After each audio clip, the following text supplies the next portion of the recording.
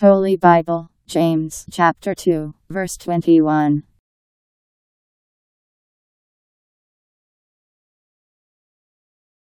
Was not the righteousness of Abraham our father judged by his works when he made an offering of Isaac his son on the altar?